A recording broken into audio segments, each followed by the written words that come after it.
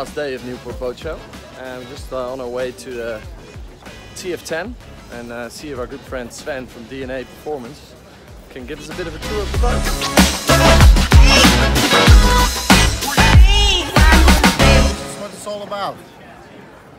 Wow, that's really cool. So how, how does this compare with a moth or something? It's a little bigger, of course, and uh, the whole incentive is to uh, to get you out with your friends and uh, and get a platform that you could easily learn the first steps in foiling. Um, what we do is we keep all the boards down all the time, so we don't work on on the boards like you've seen on the SailGP and America's Cup. Um, yeah, I'll show you down uh, color.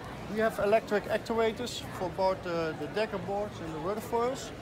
We have push button control, so the minute I move this one, the daggerboards are moving as well. R setting the correct rake angles, angle of attack for the whole boat for foils. You even use rudder differential to add some more righting moment. So And once wha- that wha- is set, can, you, can you explain it a little bit? Righting moment. What, what does the rudder differential do? Well, actually, what, what you see is we have lift of all the foils. But what you can do is on the windward side, you can put a lot more people on the deck to, to have more weight to prevent the boat from uh, flipping over, I would say. Um, with the big elevators there in the, in the rudders, if we, if we give them negative lift, it actually works like more, more crew sitting on the bench. So it's like uh, downforce in Formula One. It's downforce like Formula One. Max, uh, Max is using it too, and in his Red Bull, and we're using it on the TF10. Wow. Well, if it ain't Dutch, it ain't, Ain't much. uh, tell us a bit more about these foils because these foils are not standard L foils. They're, they're quite different. Yeah, we, we chose for a more forgiven setup. So it's not a critical section.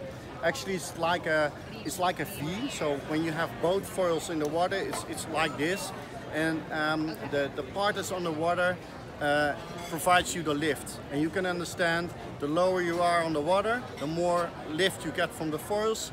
The higher you get out of the water, the less lift you have. So natural forces will bring you down immediately. So that actually levels the foiling height for you So very easy foiling. easy foiling for, for a normal crew. Yeah. So and how do you know uh, which setup to to get how to get it right for the foils, etc. Well, we have a standard setting for the for the for the teams that are sailing. We made some uh, in the uh, VPP, uh, of course. Um, but nowadays, uh, also thanks to the Sailmon system, we can record all the rake angles that we have on certain tacks. So we're learning while sailing, and in every yeah sea state, wind speed, we now know what kind of numbers we have to pull on the on the rake settings for the deck boards. Nice. This is the inside. You got all the power control and the PLC here. Then you got the Sailmon system here, which integrates all the instruments together with the PLC and the foil control system, completely in a waterproof box. And then this, of course, is the luxurious two, well, not really two person, one person bunk. Then uh, place for the kids and the shower.